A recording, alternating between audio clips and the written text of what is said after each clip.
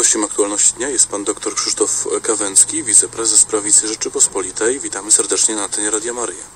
Cześć Boże, witam serdecznie. Panie doktorze, obserwujemy, tak można powiedzieć, ofensywę referendalną pana prezydenta Andrzeja Dudy po tym, jak zapowiedział referendum w sprawie zmiany konstytucji ewentualnej, zapowiedział też referendum w sprawie y, przyjmowania uchodźców, które miałoby się odbyć y, w, w 2019 roku, czyli w dniu wyborów parlamentarnych. E, ja chciałem pana e, doktora zapytać e, o to, o czym to świadczy, te, te kwestie referendalne, czy, czy jest sens organizować referenda w, w tych kwestiach? I jakie ewentualnie spodziewane są rezultaty, czy, czy jaki spodziewany odzew społeczeństwa na to referendum, bo to też no, nie ulega wątpliwości, jest kolejny moment, kiedy można powiedzieć o święcie demokracji, które, które będzie, czy jest zaplanowane? Zapowiedź przeprowadzenia referendum przez prezydenta Andrzeja Dudę, zarówno w kwestii konstytucji Rzeczpospolitej, jak i ostatnio w kwestii dotyczącej przymusowej relokacji uchodźców, no to na pewno są bardzo dobre decyzje, dlatego że sama instytucja referendum jest bardzo ważnym narzędziem do wyrażania opinii, stanowiska przez naród, przynajmniej w takich, powiedziałbym, wymiarze takim e, kierunkowym. E, także to na pewno e, trzeba przyjąć naprawdę z dużym, z dużym uznaniem i przede wszystkim dlatego, że stwarza to możliwości e, takiego aktywnego uczestnictwa w debacie konstytucyjnej dla obywateli, dla Polaków, ale także, jak już e, zapowiada e, pan prezydent, także dla środowisk oczywiście politycznych, parlamentarnych, pozaparlamentarnych, dla organizacji pozarządowych. I to już jest wielka wartość tej, tej inicjatywy.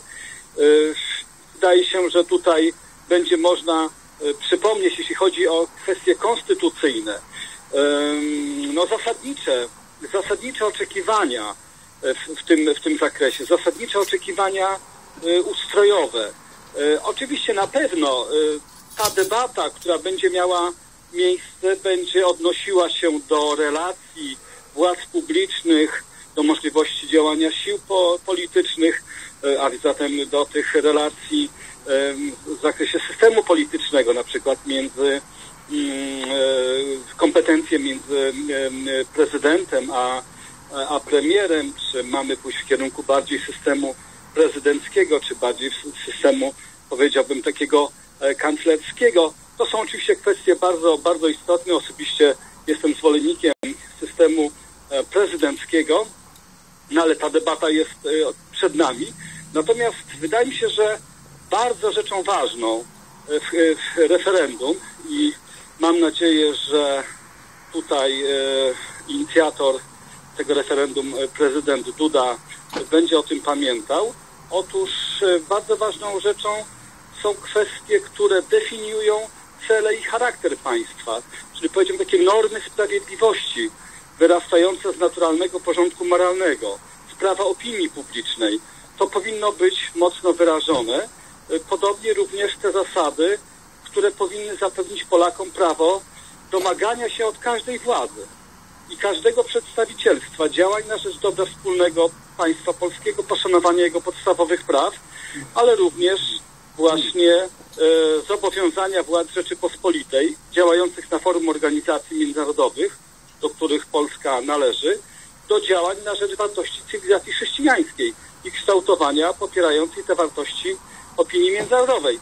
I to niezależnie od opcji politycznej, e, bo mamy przecież w tej chwili do czynienia no, z, z tą presją ze strony tych organizacji międzynarodowych. Natomiast jeśli chodzi o, o kwestie dotyczące e, drugiej, e, drugiej kwestii, czyli referendum odnoszącego się do przymusowej relokacji uchodźców, to również no jest to, y, jest to y, absolutnie y, konieczne, żeby Polacy w tym zakresie się wypowiedzieli.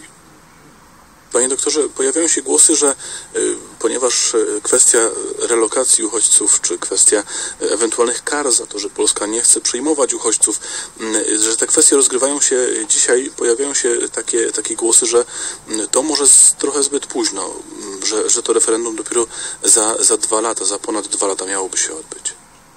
No można powiedzieć, jak polskie przysłowie, lepiej późno niż wcale, ale ja się zgadzam z tym, że mamy w tej chwili do czynienia z tą presją ze strony Komisji Europejskiej. Oczywiście to, te, te działania e, mogą trwać jeszcze wręcz latami, ale e, reakcja ze strony władz Rzeczpospolitej, ze strony rządu, ze strony prezydenta w tym zakresie powinna być i jest e, jednoznaczna. Jest deklaracja, że nie będziemy ulegali e, tutaj naciskom i szantażowi Komisji Europejskiej.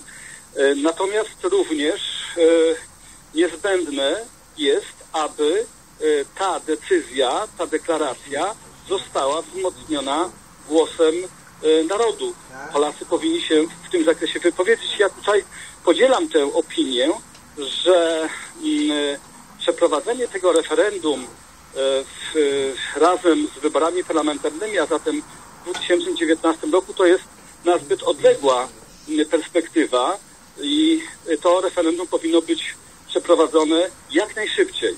I tutaj naprawdę kwestie e, jakichś tak zwanych kosztów finansowych, to, to, to są sprawy, które, e, które tutaj e, no, w kontekście tych zagrożeń mm, nie są, mm, nie są rzeczami, które mogłyby mm, jak gdyby przeszkodzić w podjęciu tej, tej decyzji. O ile, jeśli chodzi o referendum konstytucyjne, e, rzeczywiście można to połączyć, czy też e, w jakimś okresie związanym z e, 11 listopada, czy połączyć z wyborami samorządowymi, to jest już jest kwestia jak gdyby bardziej szczegółowa i techniczna, e, ale ten, ten termin jest dobry, to wydaje mi się, że referendum w sprawie właśnie tej przymusowej e, relokacji powinno być e, przeprowadzone dużo wcześniej. Ja chciałem jeszcze zwrócić uwagę, proszę ojca, na takie zjawisko, że mamy do czynienia e, z jak gdyby dwutorowym e, naciskiem na państwo polskie w kierunku, e, w kierunku tego, żeby Polska stała się po prostu krajem imigracyjnym. A zatem z jednej strony to są właśnie te działania, o których mówimy, czyli e, ta presja, ten szantaż Komisji Europejskiej domagającej się właśnie przyjęcia w ramach tej przymusowej relokacji imigrantów, nazywanych uchodźcami, E, a z drugiej strony mamy też takie bardziej powiedziałbym e, subtelne działanie, e, bardziej może długofalowe, które polega na tym, że na przykład powstają różne raporty w ostatnim czasie Banku Światowego, czy też innych instytucji e, międzynarodowych, e, albo na przykład e, firm konsultingowych, które, które alarmują, że w roku 2030 na polskim rynku pracy brakować będzie około 4 miliony pracowników. Najprostszym sposobem zapobieżenia problemowi na rynku pracy będzie przyjęcie imigrantów. Oczywiście kwestie związane z, z, z e, zapaścią demograficzną, e, z procesem starzenia się społeczeństwa będą miały wpływ na sytuację em, na polskim rynku pracy. To jest wyzwanie dla państwa polskiego. Ale rozwiązaniem w żaden sposób nie może być tutaj polityka e, imigracyjna i tutaj e, ten, e, ten nacisk również w postaci właśnie tych różnych e, raportów, różnych um, e, działań ze strony tych międzynarodowych instytucji można dostrzec. A zatem no chyba dobrze by było też e, jednak wyraźnie powiedzieć, że Polska w ogóle nie może być e, e, krajem imigracyjnym. Tu jest oczywiście kwestia pierwsza, e, podstawowa, to jest odrzucenie przymusowej relokacji no, w celu zap- zapewnienia bezpieczeństwa Polakom, obywatelom państwa polskiego, ale trzeba też wyraźnie powiedzieć, że Polska po prostu nie może być krajem imigracyjnym, dlatego że Polska musi zachować swoją tożsamość e, kulturową. Panie doktorze, bardzo dziękuję za tę wypowiedź y, i pozdrawiam. Dziękuję bardzo, szczęść Boże. Szczęść Boże, pan dr Krzysztof Kawęcki, wiceprezes Prowizji Rzeczypospolitej, był gościem naszej audycji. Bardzo dziękuję Państwu e, za uwagę. Była to ostatnia rozmowa, już za dwie minuty serwis informacyjny. Obudź się, Polsko ma, niech opadnie kłamstwa mgła. Powstań z kolan, Polsko, daj nam sprawiedliwość. Bóg, ojczyzna, honor, wiara, w sercach naszych nasz sztandara. Powstańcie z wąsych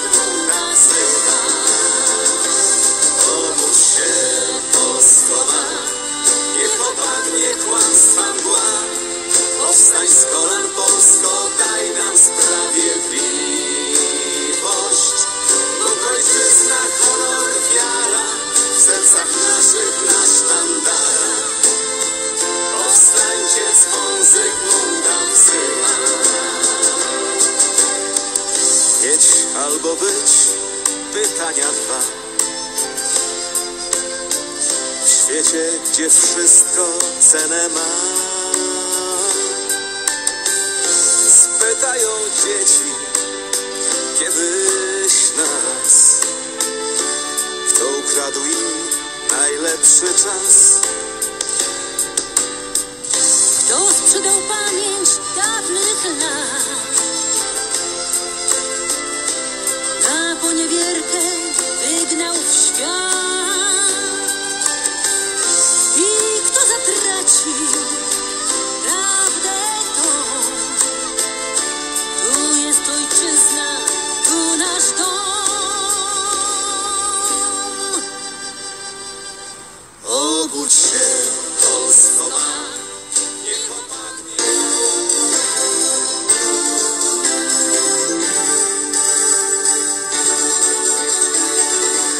Lipcowy szczyt Trójmorza odbędzie się w Warszawie, a nie jak wcześniej planowano we Wrocławiu, poinformował prezydent Rzeczpospolitej Andrzej Duda w Chorwacji.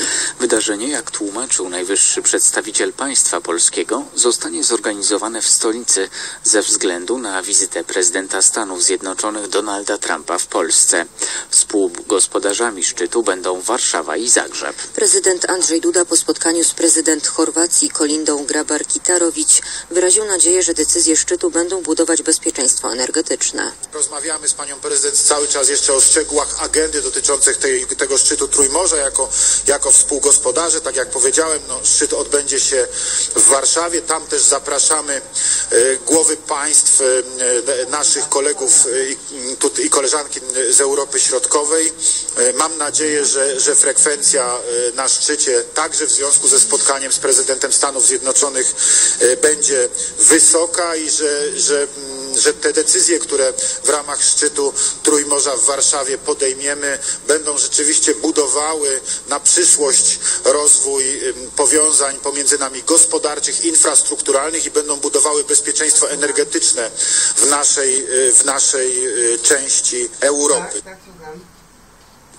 Inicjatywa Trójmorza to wspólny pomysł prezydentów Polski i Chorwacji. W inicjatywę zaangażowane są państwa Grupy Wyszehradzkiej, trzy państwa bałtyckie, Litwa, Łotwa i Estonia, a także Chorwacja, Słowenia, Bułgaria, Rumunia oraz Austria. Ryszard Sznep, będąc polskim ambasadorem w Hiszpanii w Stanach Zjednoczonych, pobierał dodatek na utrzymanie rodziny, choć jego żona pracowała w TVP. W sumie to około 448 tysięcy złotych, poinformował jeden z tabloidów. Według prawa dodatek mógł być przyznany jedynie niepracującej małżonce dyplomaty. Do informacji dziennika odniósł się Ryszard Sznep. W oświadczeniu napisał, że nie ukrywał faktu, iż jego żona pracuje, a wiedza o zatrudnieniu jego małżonki w TVP była powszechna w ówczesnym MSZ. Obecne kierownictwo resortu, jak dowiedział się dziennik, ma skierować sprawę do sądu. Ryszard Sznep był ambasadorem Rzeczpospolitej w Hiszpanii w latach 2008-2012, a później przez 4 lata w Waszyngtonie. Miał tam mieszkać w luksusowych warunkach. W Waszyngtonie korzystał z posiadłości, którą resort ówczesnego szefa MSZ Radosława Sikorskiego kupił i urządził za ponad 60 milionów złotych, napisał dziennik. Działacze społeczni, naukowcy i parlamentarzyści bronią księdza profesora Tadeusza Guza, którego atakują tzw. ekolodzy. O sprawie napisał nasz dziennik. List okazujący wsparcie jest reakcją na niesprawiedliwą krytykę słów księdza profesora przez aktywistów ekologicznych. Chodzi o wykład wygłoszony na konferencji naukowej w Toruniu 13 maja, organizowanej przez Ministerstwo Środowiska i Wyższą Szkołę Kultury Społecznej i Medialnej. Ksiądz profesor Tadeusz Gus mówił o tym, że skrajne lewicowe prądy filozoficzne dały podstawę do zbudowania pseudoideologicznej, pseudoekologicznej ideologii. a jej celem jest animalizacja człowieka oraz humanizacja zwierząt i drzew. Ksiądz profesor naukowo udowodnił, że ta pseudoideologia odrzuca Boga jako stworzyciela świata i człowieka. Po wykładzie tak środowiska ekologów dopuściły się do ataków na księdza profesora. Do medialnej nagonki przyłączyła się Gazeta Wyborcza. To ewidentny przykład cenzury wypowiedzi naukowej, powiedział ksiądz profesor Paweł Bortkiewicz, bioetyk, wykładowca Wyższej Szkoły Kultury Społecznej i Medialnej i Uniwersytetu Adama Mickiewicza w Poznaniu. Sytuacji, w której te same środowiska cenzorskie bardzo często mówią o potrzebie pluralizmu poglądów, o potrzebie e, tolerancji wobec różnych odmiennych stanowisk. E, Poglądy księdza profesora Guza są niewątpliwie niewygodne dla określonych środowisk, ale są poglądami bardzo dobrze udokumentowanymi. Jest rzecz powszechnie znaną w środowisku tych, którzy zajmują się filozofią e, ekologii, filozofią środowiska, że no po pierwsze ekologia jest pojęciem bardzo wieloznacznym i poczynając od ekologii jako analizy środowiska naturalnego poprzez ekologię rozumianą jako ochronę środowiska i działania na rzecz ochrony środowiska naukowego, aż po właśnie pewne trendy światopoglądowo-ideologiczno-filozoficzne. W tej sytuacji w obronie księdza profesora Tadeusza Guza stanęli naukowcy z różnych ośrodków akademickich, politycy i partii, e, patriotyczne organizacje społeczne. W specjalnym liście wskazano, że jest to brutalny atak na wybitnego filozofa za odważne i bezkompromisowe głoszenie prawdy. Powstała interaktywna mapa graficzna prezentująca problem ciągłego funkcjonowania w przestrzeni publicznej nazw ulic propagujących komunizm i inne ustroje totalitarne. Projekt pod tytułem Zmiany nazw ulic powstał dzięki zaangażowaniu Stowarzyszenia Koliber i Koła Naukowo-Badawczego z Politechniki Wrocławskiej. Mapa ukazuje w obrazowy sposób, w jakich miejscach naszego kraju nie zmieniono, nie zmieniono jeszcze nazw ulic czy placów nawiązujących między innymi do komunizmu. Samorządy mają na to czas do 2 września tego Nie mam roku. czasu się pogłapać. Mówi Mateusz Walczak, Podrapać po koordynator głowie, nie mam projektu czasu. zmiany nazw ulic ze Stowarzyszenia Koliber. A pogoda? Trendna pogoda, e, proszę tym, Państwa. nazwy, Ludzie chodzą w e, kurtkach zimowych normalnie.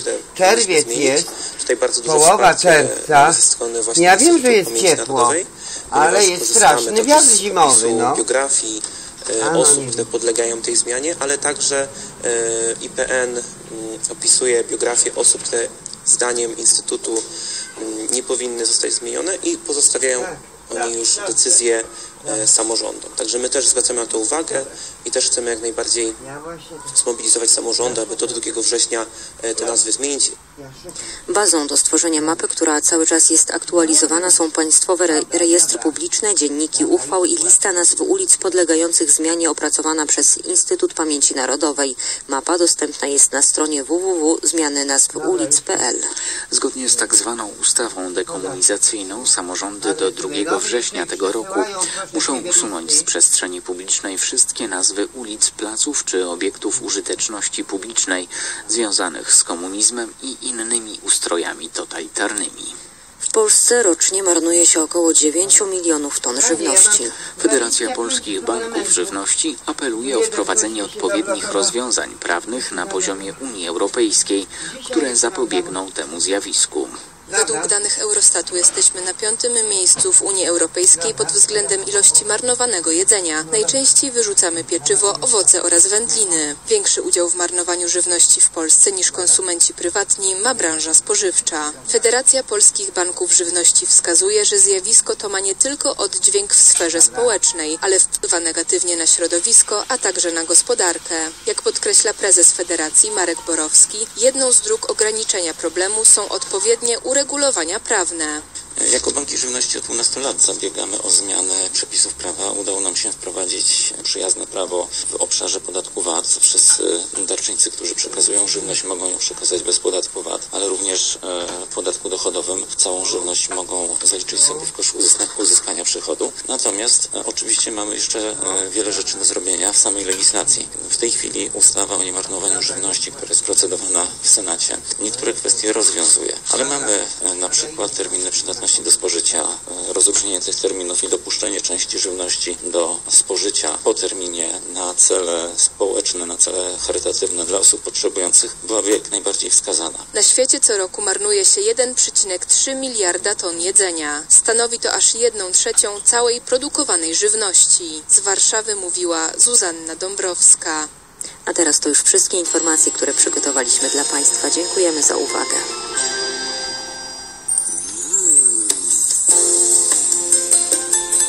Młodzi lekarze w systemie ochrony zdrowia to temat dzisiejszych rozmów niedokończonych. Naszymi gośćmi będą pani Olga Pietrzak, lekarz w trakcie specjalizacji z ginekologii, pani Urszula Knych, lekarz w trakcie stażu podyplomowego, pan Mikołaj Sinica, również lekarz w trakcie stażu podyplomowego i Damian Potecki, lekarz w trakcie specjalizacji z anestezjologii i intensywnej terapii. Początek spotkania na antenie Radia Maria i Telewizji Trwam o godzinie 18.15. Zaś audycji dla małżonków i rodziców podejmiemy temat, jak rozeznawać wolę Bożą w małżeństwie. Naszymi gośćmi będą państwo Magdalena i Piotr Ogrodewczykowie i ksiądz Tomasz Owczarek. Początek tego spotkania godzina 21.30.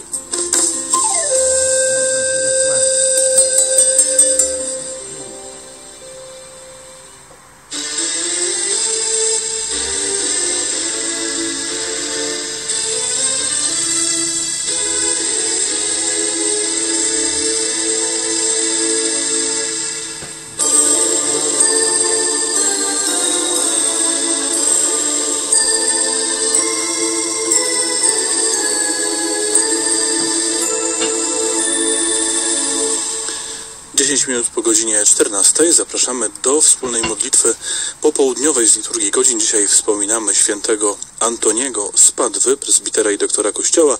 Hymn w hołdzie pokornej modlitwy znajdziemy e, na stronie 549. E, Antyfony i psalmodia na stronach 718 i stronach następnych i czytanie z pierwszego listu do Koryntian, strona 721. Zapraszam.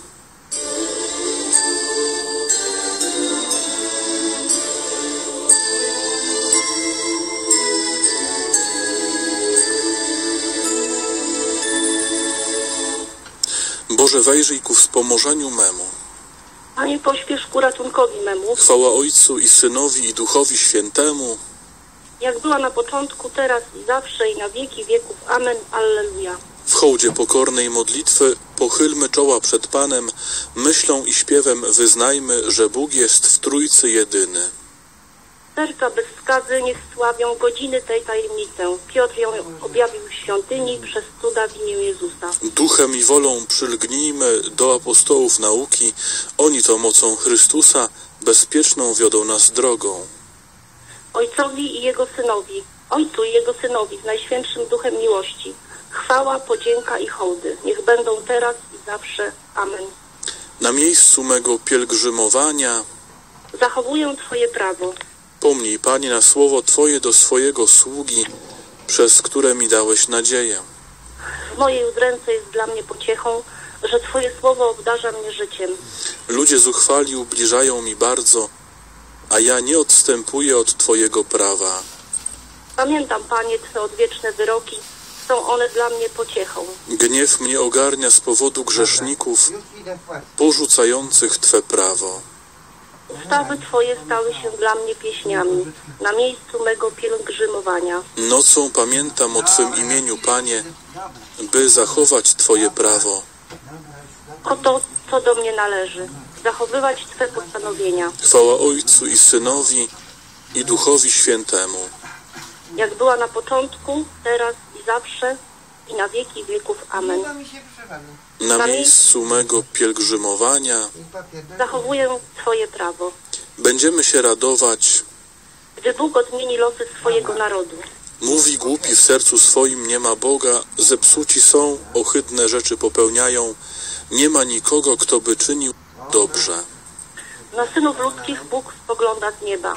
Chce znaleźć rozumnego, który szuka Boga. Wszyscy razem zbłądzili, stali się nikczemni, nie ma ni jednego, który by czynił dobrze.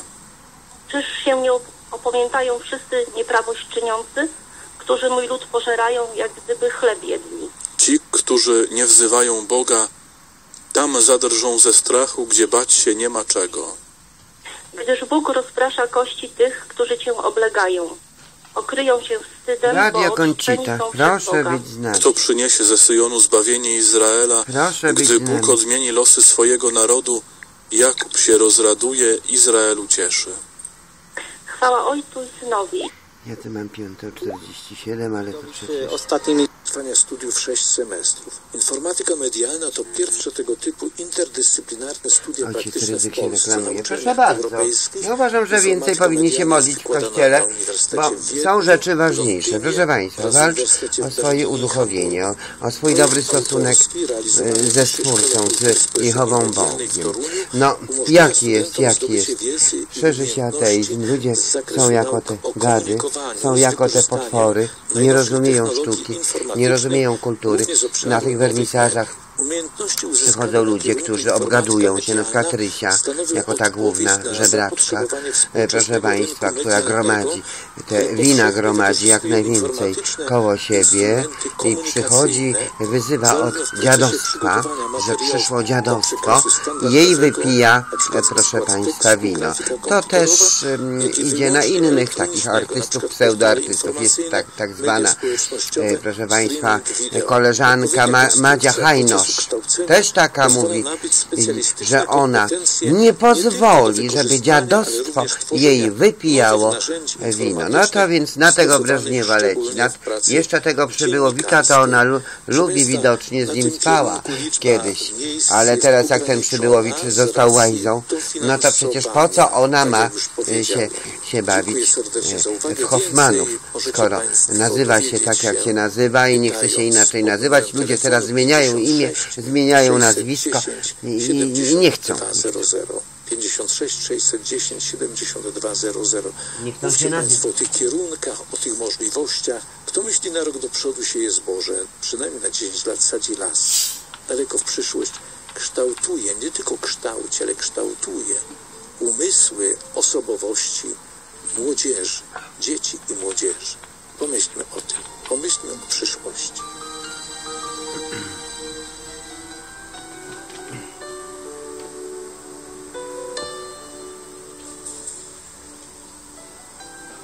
Najserdeczniej zapraszam słuchaczy Radia Maryja na Narodową Pielgrzymkę, w czasie której będziemy się modlić w intencji wolnego narodu, wolnych i szczęśliwych rodzin, wolnych rodaków w kraju i poza jego granicami. Tronu Pani Jasnogórskiej będziemy prosić Boga o uzdrowienie rodzin z uzależnień. Pamiętajmy, że wolność to dar, o który trzeba się stale troszczyć. Rozpoczynamy 17 czerwca o godzinie 16.30. Całą noc będzie czuwanie przed Najświętszym Sakramentem w Bazylice Jasnogórskiej. Nasze spotkanie zakończy się w niedzielę o godzinie 11 uroczystą mszą świętą pod przewodnictwem prymasa Polski. Moi kochani, serdecznie Was zapraszam. Do zobaczenia na Jasnej Górze 17 i 18 czerwca.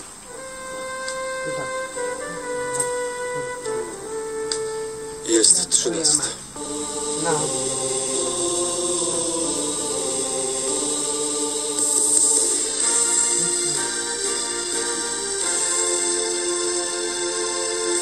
Tu Radio Maryja.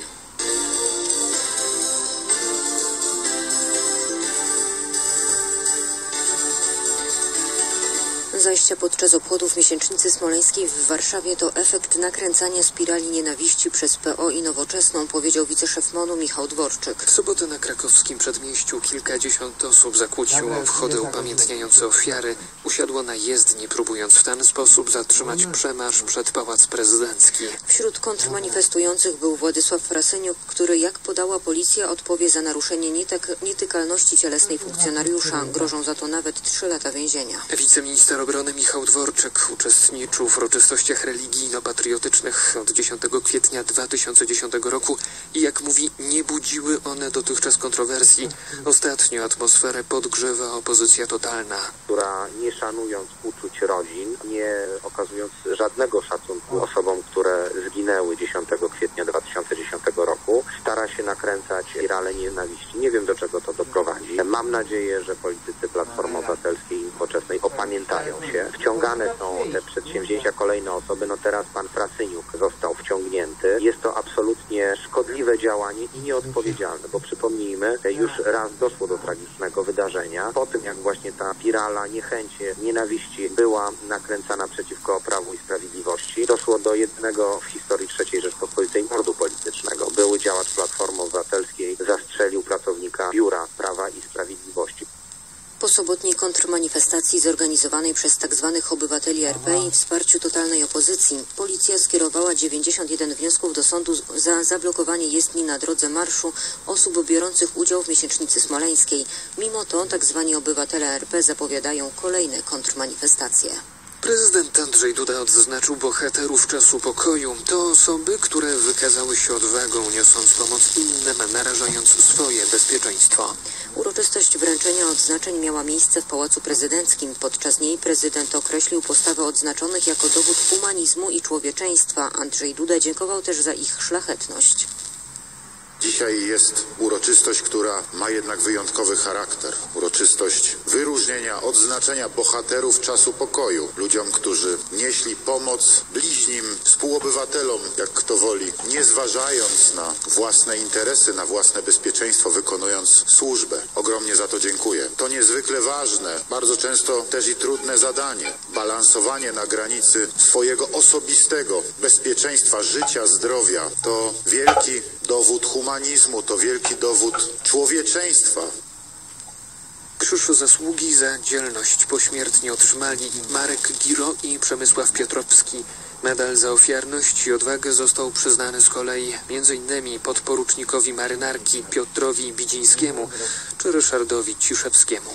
Pierwsze odznaczenie przyznawane jest za zasługi w ratowaniu mienia, drugie za ratowanie życia ludzkiego. W tym tygodniu rozpoczną się pierwsze negocjacje w sprawie płacy minimalnej. Rząd zaproponował, by od nowego roku wynagrodzenie wzrosło o 80 zł, czyli wynosiłoby 2080 zł. Związki zawodowe domagają się jednak co najmniej dwa razy większej podwyżki, czyli o 160 zł w przypadku Solidarności. Z kolei przedsiębiorcy mówią o 50 zł podwyżki. Do 15 czerwca rząd ma przedstawić Radzie Dialogu Społecznego do negocjacji swoją propozycję w sprawie wysokości przyszłorocznej płacy minimalnej. Propozycja Solidarności to realizacja wcześniejszych zapowiedzi i jest oparta o dokładne wyliczenia, podkreślił wiceprzewodniczący NSZZ Solidarność Bogdan Biś. Te 160 zł, które my proponujemy, wynika z tej naszej wcześniejszej propozycji, którą złożyliśmy w sprawie dochodzenia do wysokości 50% średniego wynagrodzenia. I biorąc pod uwagę wysokość wzrostu PKB, no to tak, tak nam akurat wychodzi. Między 140 a 160 zł. I taka jest nasza propozycja w tej chwili. No pracodawcy będą proponując tak 50 zł, to tak powiem, nie popisują się specjalnie. Argumentacja niektórych, że to nie ma takiego wzrostu wydajności, no to jest takie ośmieszanie się, ponieważ ta wydajność od wielu lat zdecydowanie rosła i jakoś wtedy pracodawcy też nie byli za podwyższaniem płacy minimalnej. Także to, to jest żaden argument. Natomiast minimalna stawka godzinowa miałaby wzrosnąć o 50 groszy i wynieść 13 zł 50 groszy. Rada Dialogu Społecznego będzie miała 30 dni na wynegocjowanie wspólnego stanowiska. Przy braku porozumienia wysokość przyszłorocznej podwyżki ustali Rada Ministrów. Ostateczny termin to 15 września.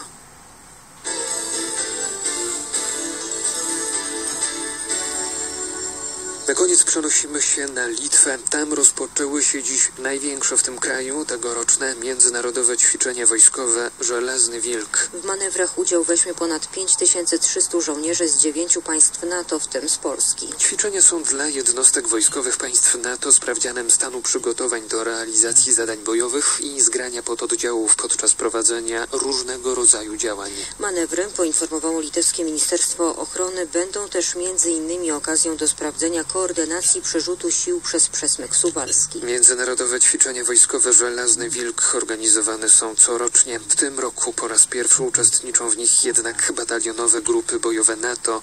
Ćwiczenia te są również integralną częścią ćwiczenia Saber Strike 2017 realizowanych jednocześnie w państwach bałtyckich i w Polsce. Manewry potrwają do przyszłej soboty. Weźmie w nich udział około 70 polskich żołnierzy.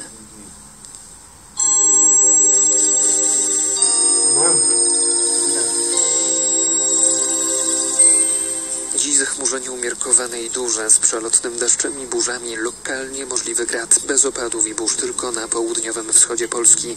Temperatura maksymalna od 17-20 stopni na północy do 28 stopni na południu. Wiatr umiarkowany na wybrzeżu okresami dość silny w porywach do 65, a w rejonach burz do 80 km na godzinę południowo-zachodni i zachodni. Na barometrach w Warszawie 995 hektopaskali ciśnienie będzie się wahać. Były to wiadomości w Radiu Maryja.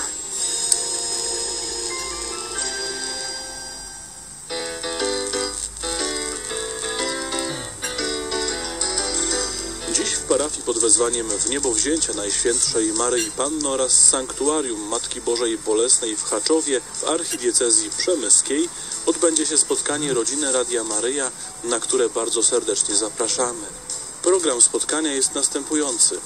O godzinie 16.30 spotkanie przedstawicieli biur i kół przyjaciół Radia Maryja.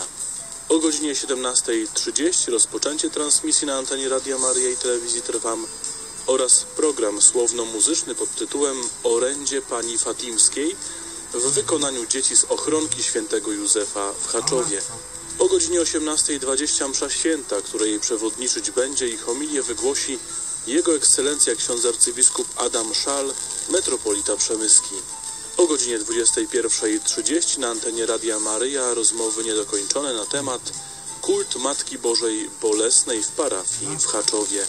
Gośćmi rozmów będą ksiądz profesor doktor habilitowany Stanisław Nabywaniec, wykładowca na Wydziale Socjologiczno-Historycznym Uniwersytetu Rzeszowskiego, ksiądz doktor Zbigniew Głowacki, doktor prawa kanonicznego, ksiądz prałat Kazimierz Kaczor, emerytowany proboszcz parafii Haczów i ksiądz Adam Zaręba, proboszcz parafii Niebowzięcia Najświętszej Maryi Panny w Chaczowie. Całą rodzinę Radia Maryja serdecznie zapraszamy do wspólnej modlitwy. Jednocześnie informujemy, że kolejne poniedziałkowe spotkania rodziny Radia Maryja odbędą się 19 czerwca w Sanktuarium Matki Bożej Łaskawej w Krzeszowie. 26 czerwca w parafii pod wezwaniem świętego Bartłomieja w Czernikowie, 31 lipca w sanktuarium świętego Michała Archanioła i błogosławionego księdza Bronisława Markiewicza w miejscu piastowym. Wybrane problemy, tematy, artykuły z codziennej prasy polskiej. Zasadzka gender. Szkoła zleciła organizację warsztatów o rozwiązywaniu konfliktów. Dzieci pytały po nich o biseksualizm. Szczegóły w naszym dzienniku. Polacy za życiem.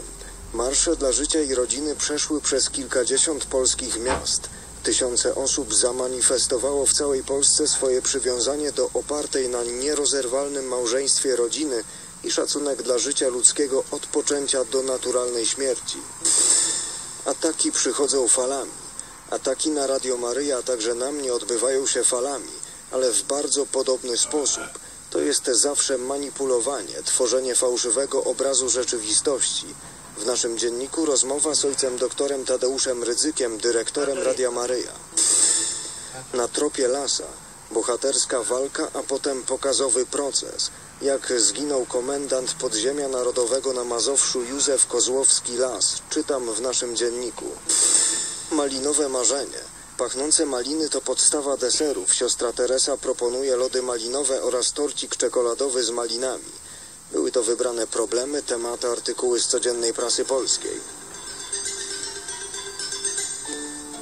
Niech żyje malina. Kto nie pamięta przeszłości, nie ma przyszłości. Znamy tę prawdę. Dlatego Radio Maria i dzieła przy nim powstałe, a tu szczególnie Instytut Pamięć i Tożsamość imienia świętego Jana Pawła II, współpracujący z Wyższą Szkołą Kultury Społecznej i Medialnej, w dalszym ciągu prowadzi akcję Ocalić od zapomnienia. I prosimy o włączenie się w nią. Prosimy, by informować nas o tych, którzy pomagali ocalić Żydów mordowanych przez Niemców podczas II wojny światowej. Wiemy, że nawet za szklankę wody czy kromkę chleba groziła śmierć. I uwaga, prosimy również tych, którzy wiedzą o nieznanych szerzej miejscach mordowania Polaków, Żydów czy ludzi innych narodowości, a może są świadkowie tych zbrodni. Prosimy o informowanie nas od poniedziałku do piątku na numer telefonu 56 610 81 64. Powtarzam 56 610 81 64. Przyjmujemy tylko zidentyfikowane telefony, tak jak powiedziałem, od poniedziałku do piątku w godzinach od 7.30 do 14.00. Dziękuję serdecznie za współpracę. Razem możemy uczynić wiele. Bóg zapłać.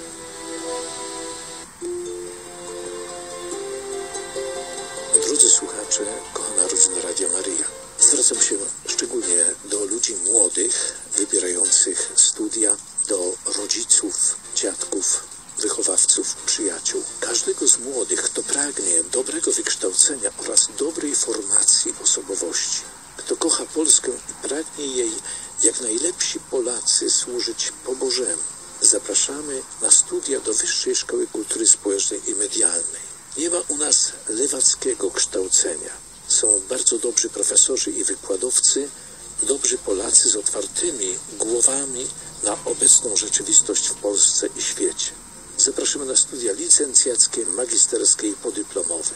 Studia licencjackie, dziennikarstwo i komunikacja społeczna, specjalności kultura medialna, dziennikarstwo radiowo-telewizyjne. Politologia, nie bójmy się politologii. Potrzeba dobrych dziennikarzy, prawdziwie służących prawdzie, ale i polityków, którzy będą zatroskani o dobro wspólne, a nie będą kombinatorami, politykierami, co ma często miejsce.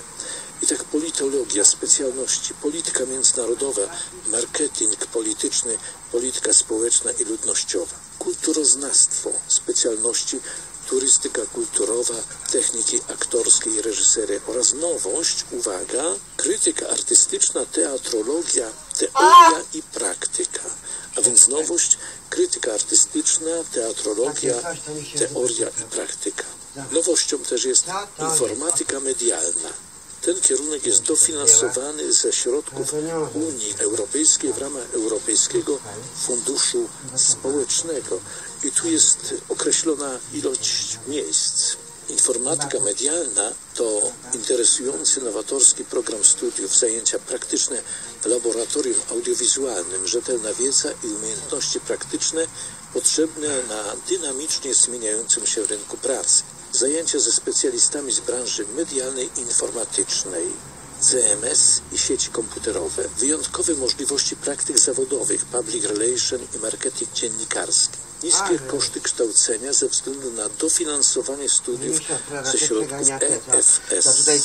Liczba dofinansowanych miejsc jest ograniczona. Studia inżynierskie, informatyka, specjalności grafika komputerowa, techniki multimedialne.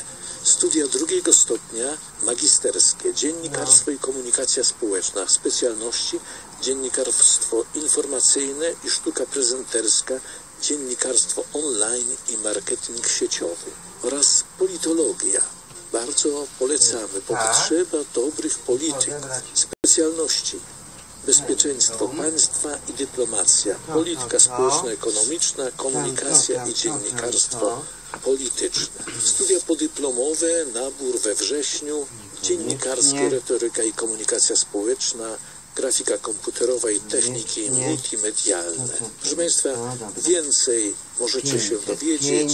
Pytajcie telefonując od poniedziałku do piątku w godzinach od 8 do 15 pod numerem telefonu w. Toruniu, a więc Okej, 56 dobra. 610 7200 56 610 7200 Możecie Państwo też popatrzeć na portal Wyższej Szkoły Kultury Społecznej i Medialnej www.wskasim.pl Szukajcie Państwo więcej informacji, przekazujcie dalej. Właśnie młodzież jest przyszłością. Kochamy Polskę, starajmy się o dobre wykształcenie, ale i dobrą formację osobowości, formację ducha, sumień, a wtedy będzie wszystko dobrze.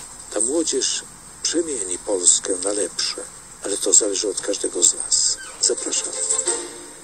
15 minut po godzinie 13 w Radio Maryja zapraszamy na audycję aktualności dnia. Obudź się, Polsko ma, niech opadnie kłamstwa mgła. Powstań z kolan,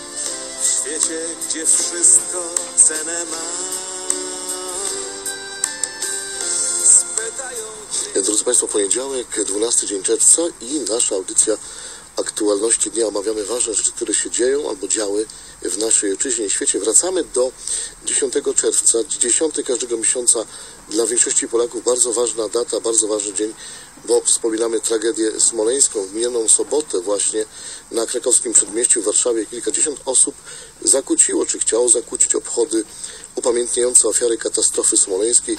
Usiadło na jezdni, jak pamiętamy, i w ten sposób chciało, nie wiem, przerwać, powiedzieć, że istnieją.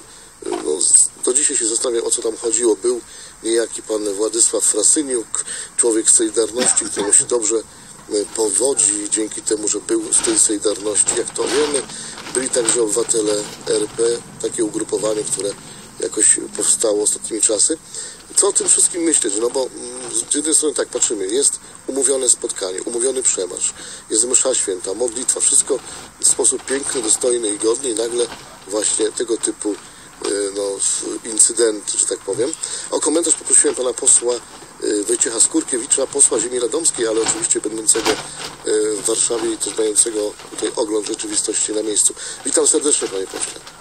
Szczęść Boże, witam ojca Żydami, witam wszystkich e, radiosłuchaczy. Szczęść Boże. Jest Ale to chyba myślę, za małe myślę, słowo. Szanowny ojcze, że można by zacząć od y, y, kwestii, która się pojawi, pojawiła w Polskiej Agencji Prasowej dosłownie kilka czy kilkanaście minut temu, bo to jest jakby też dalszy ciąg e, tych działań totalnej opozycji, bo e, właśnie kilkanaście minut temu ponoć Ryszard Petru wystąpił, z pismem, z oficjalnym wystąpieniem do e, pana prezesa Jarosława Kaczyńskiego o zaprzestanie e, organizowania miesięcznic smoleńskich. To proszę zauważyć, no, no, to jest dla mnie, przyznam się szczerze, jak przeczytałem e, tę informację króciutką, co na razie, e, z Polskiej Agencji Prasowej, to, to wiało no, przerażeniem. Ryszard Petru chce, aby zaprzestać pamięci, oddawania pamięci tym, którzy oddali największą wartość, swoje życie, lecąc na y, obchody mordu katyńskiego do Katynia, którzy zginęli w katastrofie smoleńskiej. Ale to jest jakby ciąg, to jest następstwo tych działań, które były podjęte w ubiegłym tygodniu. No to może powiedzieć jeszcze o krok od tego, żeby w ogóle, przykład, nie wiem, może zabronić procesji Bożego Ciała, prawda, w najbliższy czwartek albo... Ale mieliśmy takie, przy, mie- mieliśmy takie przypadki. Przypominam sytuację sprzed kilku lat, kiedy e, jedna z czołowych posłanek Platformy Obywatelskiej z Gdańska, e, wtedy to w Dniu Bożego Ciała, dniu szczególnym dla wszystkich chrześcijan katolików, napisała na Twitterze, że jej zbudowali jakąś budowlę, jakiś ołtarz jej zbudowali na ścieżce rowerowej i to jej przeszkadza w uprawianiu sportu e, o poranku w czwartek. To są e, rzeczy skandaliczne, które wychodzą od ludzi, którzy ani z Kościołem nie mają nic wspólnego, a mienią się e, za takie osoby przychylne i osoby, które są gdzieś blisko e, Kościoła, a później przy takich sytuacjach wychodzi e, całe zło. To jak, jak, jakimi, są, jakimi są osobami w rzeczywistości. Proszę zauważyć, że dziesiąty to, co wydarzyło się na krakowskim przedmieściu, ta e, akcja e, tego, tej formacji Obywatele RP, która no, staje się taką następczynią, ta organizacja e, e, kodu, e, próbują e, zakłócać po raz kolejny e, miesięcznicę smoleńską. E, Akt e, z jednej strony religijny, Akcja, z drugiej strony patriotyczny. E, i te osoby, które siadają na mm, przejściu, w miejscu przejścia, e, gdzie z archikatedry świętego Jana przechodzimy na przy podpałac prezydencki i próbują e, blokować. Ale najgorsze w tym wszystkim jest to, że wtórują e, tym ugrupowaniom, gdzie bardzo często e, są osoby typu pułkownik Mazguła, osoby, które też wywodzą się z dawnych służb PRL-owskich, e, politycy opozycji. Ja przyznam się szczerze, że byłem bardzo mocno zdziwiony, że z osobą, która zarządza tą formacją Obywatele RP w ubiegłym tygodniu, tuż przed dziesiątym, usiedli ym, y, przedstawiciele wszystkich partii opozycyjnych, z wyjątkiem y, Kukiz 15, ale usiadła, usiadła też również przedstawicielka Polskiego Stronnictwa Ludowego, co dla mnie było to zupełnie dziwne i niezrozumiałe. A same odchody 10, 10 kwietnia my od momentu katastrofy smoleńskiej jesteśmy na krakowskim y, przedmieściu. Byliśmy, A nie jesteśmy i będziemy. To jest y, pamięć nasza o tych osobach, które, które zginęły w katastrofie smoleńskiej. To jest również przywoływanie pamięci o tych osobach, o prezydencie Rzeczypospolitej, o jego małżonce, o prezydencie Kaczorowskim, o wielu zacnych osobach, nie tylko związanych z Prawem i Sprawiedliwością, ale o wszystkich tych, którzy właśnie zginęli w katastrofie e, smoleńskiej. Te obchody, które przeżywaliśmy e, w tym miesiącu, były szczególnie, szczególnie bolesne. Szczególnie bolesne w sytuacji, kiedy odbywają się ekshumacje, kiedy na na jaw wychodzą nieprawidłowości, całe mnóstwo nieprawidłowości y, związanych z jednej strony z identyfikacją ciała, z drugiej strony również y, z sekcjami zwłok. Kiedy y, kłam y, jest zadawany teraz przez te badania tym słowom, które wypowiadał Komorowski, Tusk, Ewa Kopacz, którzy wskazywali po 10 kwietnia, że państwo polskie zdało egzamin. Ja po raz wtóry to wtórzę na antenie Radia Maryja. Państwo polskie nie zdało egzaminu po katastrofie smoleńskiej 10 kwietnia 2010 roku. Nie zdało No nie zdało, nie zdało. Gdyby było inaczej, to dziś rodziny tych, którzy zginęli w katastrofie smoleńskiej, nie przeżywaliby jeszcze raz ponownie tych sytuacji bardzo trudnych, sytuacji wręcz traumatycznych, sytuacji, kiedy okazuje się, że y, w trumnach najważniejszych dowódców państwa natowskiego, państwa polskiego, znajdują się szczątki innych osób, gdzie ciało polskiego generała, dowódcy polskiego wojska jest skrępowane czarnym sznurem i jest złożone w, y, w worku y, foliowym, jakiejś folii y, budowlanej, gdzie ksiądz biskup, który jest pasterzem, duszpasterzem żołnierzy polskich, czy to biskup nasz katolicki, czy, czy biskup prawosławny, są problemy z identyfikacją fragmentów ich ciał. Mamy również do czynienia z wieloma innymi przerażającymi y, sytuacjami, że w jednym z, grobów jest y, kilka miednic, kilka rąk, dwie głowy. No to są sytuacje, które są skandaliczne. Państwo polskie nie zdało po 10 kwietnia e- egzaminu i my tym, o tym mówimy. My również przywracamy pamięć wszystkim tym, którzy zginęli w katastrofie smoleńskiej, a oni próbują, nam, próbują blokować, blokować ka- każdą kolejną miesięcznicę, próbują blokować możliwość y, prezesa Jarosława Kaczyńskiego y, złożenia y, kwiatów i chwili modlitwy na grobie swojego y, brata y, na Wawelu. To są rzeczy, to są rzeczy, które absolutnie nie powinny się zdarzyć, a niestety totalna opozycja, jak niektórzy określają historyczna opozycja, jeszcze podgrzewa te nastroje społeczne i próbuje jeszcze w jakiś głęboki sposób wzniecać e, te protesty. Sprawa chociażby pana Frasyniuka e, Sobotnia, który, który dopuścił się zdaniem policji czynnego ataku na funkcjonariusza, to postępowanie będzie prowadzone. I proszę zauważyć, od razu w mediach tak zwanego mętnego nurtu e, przypuszczono totalny atak na wszystkich wokoło, że to legenda Solidarności została aresztowana i, i teraz będą występować w obronie Frasyniuka, a nic takiego nie miało miejsca. To są ludzie, którzy podpierają się kłamstwem, a to, co jest podparte kłamstwem, ma bardzo grząski grunt, ma wręcz gliniane nogi. Wcześniej czy później ta narracja i ta retoryka ze strony totalnej opozycji po prostu się zawali. No właśnie, totalna opozycja to jest takie sformułowanie bardzo trafne. No panie pośle, bo popatrzmy tak, y, jakby streszczając to, co się dzieje. Jeśli się wszyscy jeszcze gromadzą w kościele, jest msza święta, kazanie, jakoś to jest do przełknięcia, tak mówiąc y, kolokwialnie. Natomiast problem się pojawia, kiedy wychodzi tutaj ta, ta konkretna grupa, idąc razem, powiedzmy w takim zwartym szeregu, niosąc ten transparent z przodu, prawda, Smoleńsk, pamiętamy, czy tak dalej.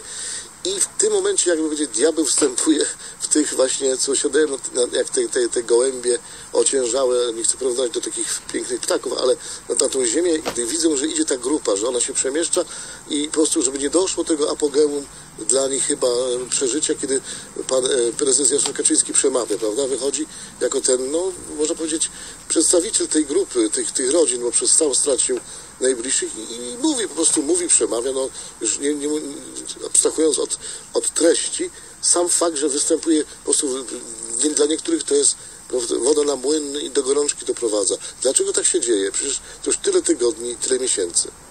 Ale to idzie y, coraz dalej i, i, i wręcz y, przyznam się szczerze, że e, ta grupa takich y, frustratów wręcz politycznych idzie jeszcze wciąż dalej, bo proszę zauważyć, co było w ubiegłym miesiącu podczas majowych obchodów miesięcznicy smoleńskiej. To właśnie te osoby y, przyniosły y, białe róże, które od tamtej pory y, stały się y, Kiedyś była róża biała symbolem czystości i, niewinności. Dziś stała się symbolem wręcz nienawiści.